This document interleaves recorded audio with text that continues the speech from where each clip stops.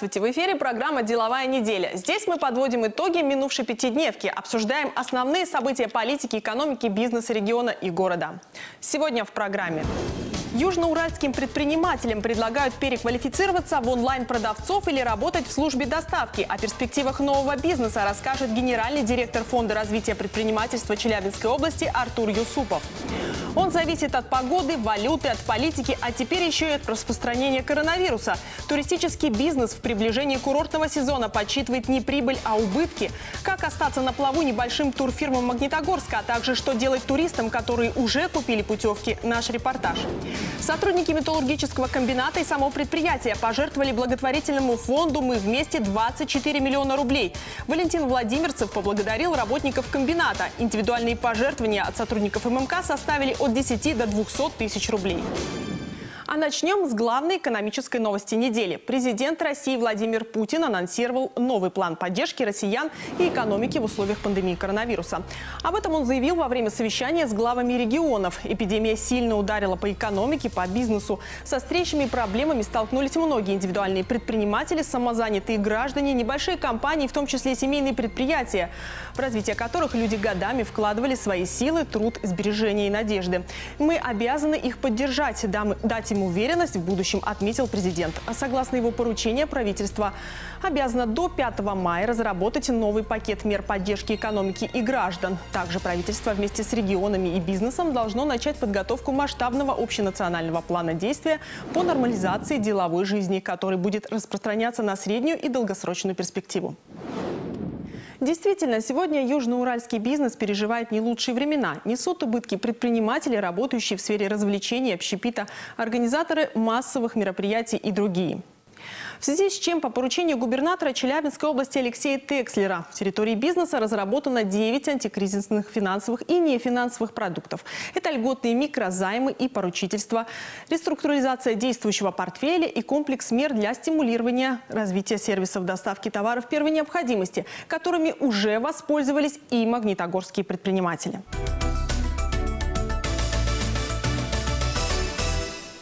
На связи со студией генеральный директор Фонда развития предпринимательства в Челябинской области, территория бизнеса Артур Юсупов. Добрый день. Добрый день.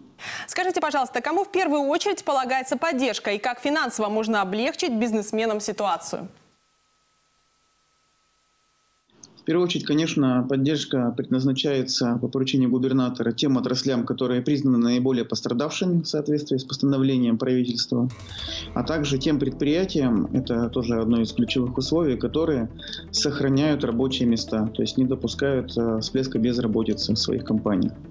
Таким образом, вот э, по поручению губернатора реализовано э, 9, как вы сказали, антикризисных продуктов, да, и, соответственно, мы э, в этой части значит, э, очень много работаем именно с предприятиями, в том числе и Магнитогорска.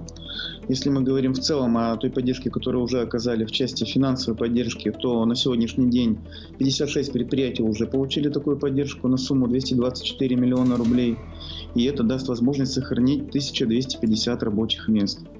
Если мы говорим про нефинансовую поддержку, конечно же, у нас в постоянном режиме работает горячая линия территории бизнеса 8 800 350 2474.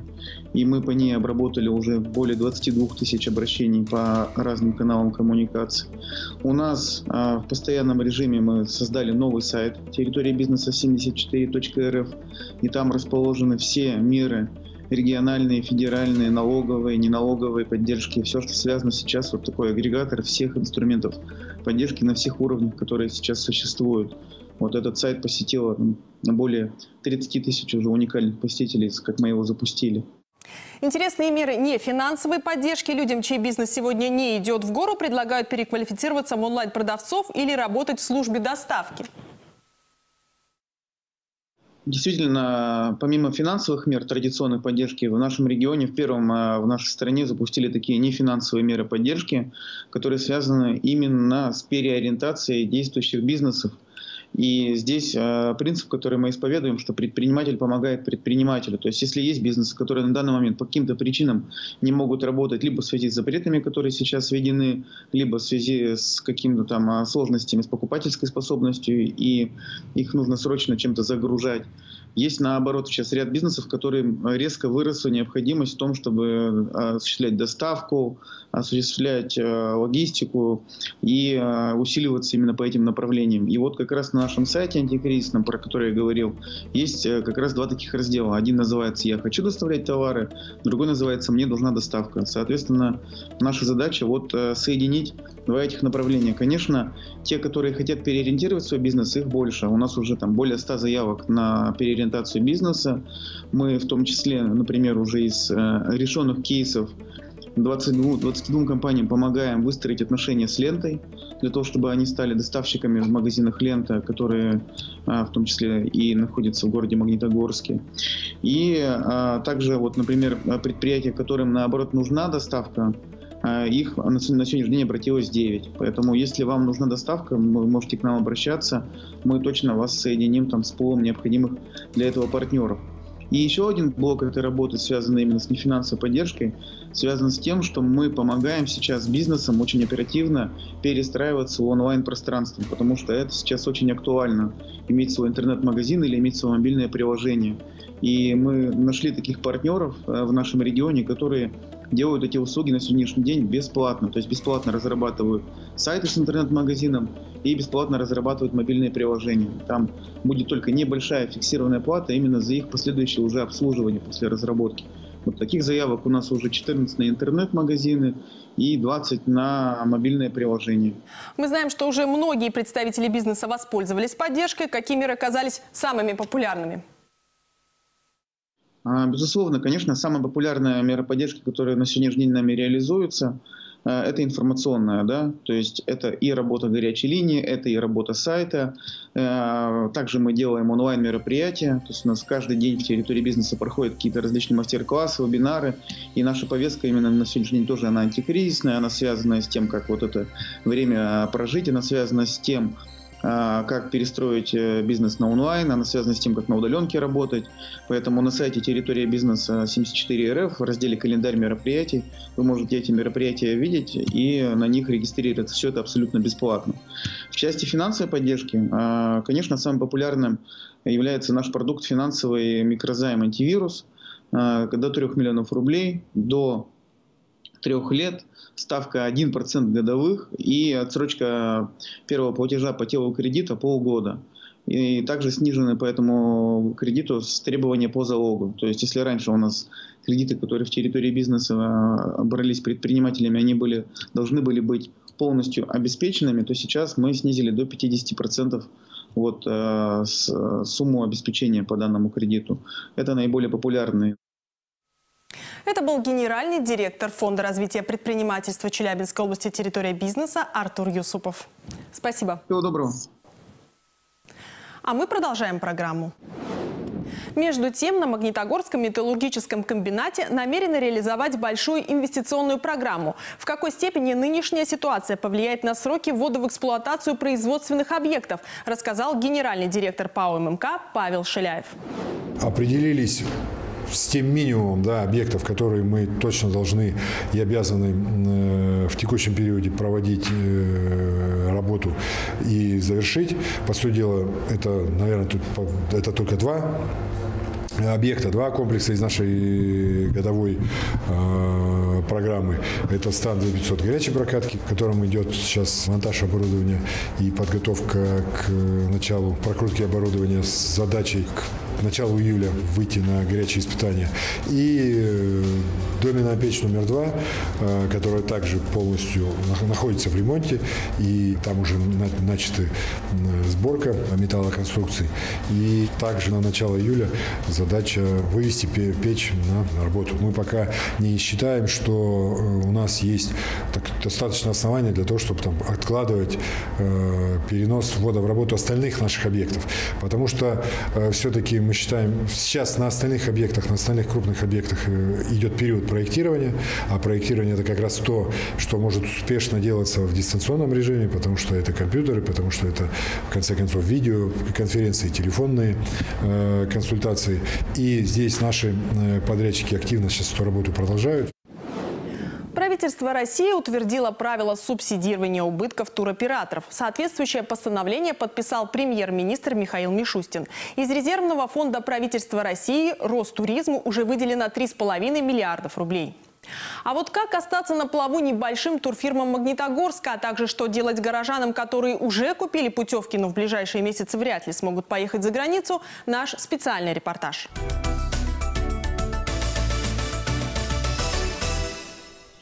Мария Сапрыкина этим летом собиралась впервые поехать за границу. Обратилась в турагентство заранее. Благодаря раннему бронированию билеты на руках были еще зимой. Мы планировали поехать э, в июне э, с подружкой в Грузию. Купили через турагентство путевку. Вышло у нас около 50 тысяч.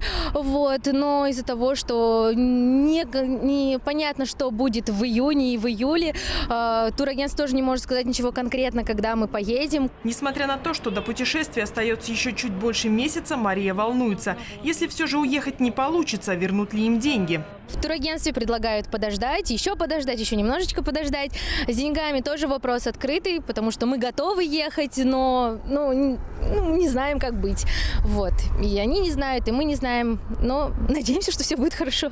Сегодня все турфирмы города из-за карантина закрыты. За разъяснением, что же делать туристам, которые уже купили путевки, мы обратились к президенту городской общественной организации по туризму Наталье Макаровой. Лучше не отказываться, а турагентство должно перенести, потому что туроператор также и диктует.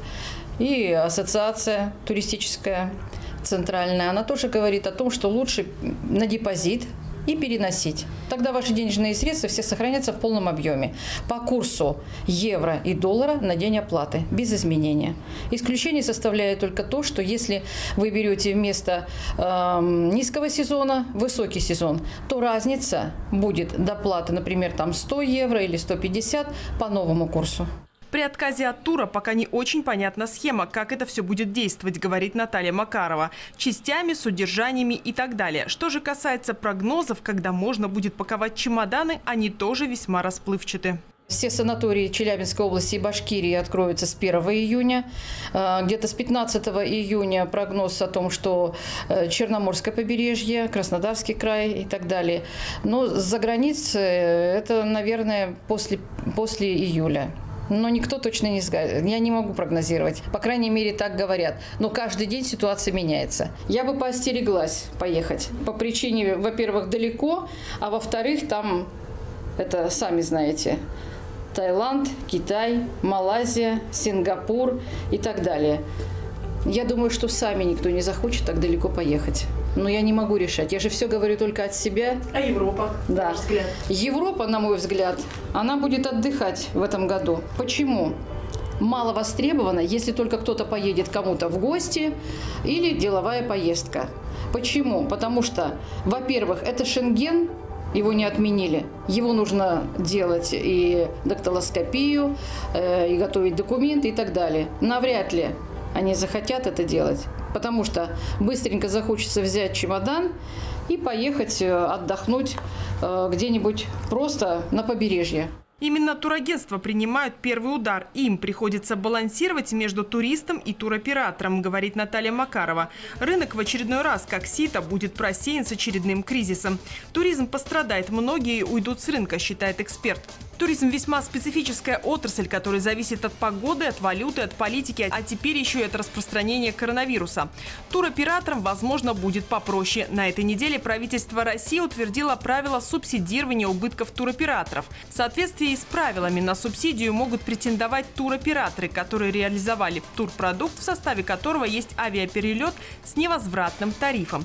При этом туроператор сможет получить возмещение, если уже вернул туристу деньги за нереализованный тур включая стоимость перелета. Также туроператоры могут компенсировать частичную стоимость рейсов, которыми возвращали российских туристов из стран, где были введены ограничения в связи с распространением коронавируса. Так, по словам руководителя Ростуризма Зарины Дагузовой, с 17 по 30 марта российские туроператоры вернули в страну порядка 160 организованных туристов из 43 стран мира. При этом, несмотря на колоссальные убытки, сегодня туроператоры продолжают работу, сохраняя персонал и предлагая туристам выгодные условия переноса туров. Многие готовятся к восстановлению турпотоков и запуску новых туристических направлений по России после нормализации ситуации. С учетом масштабов кризиса субсидия не решит всех проблем рынка, но позволит туроператорам компенсировать часть убытков и выполнять обязательства перед людьми, работниками и туристами. Сегодня Ростуризм начинает подготовку к сбору заявок туроператоров. Ну а туристам стоит немного подождать. Возможно, летний сезон 2020 не будет испорчен. Почти 32 миллиона рублей поступило от юридических и физических лиц на благотворительный счет «Мы вместе». Большая часть этих поступлений, 24 миллиона рублей, составили взносы от ПАО ММК.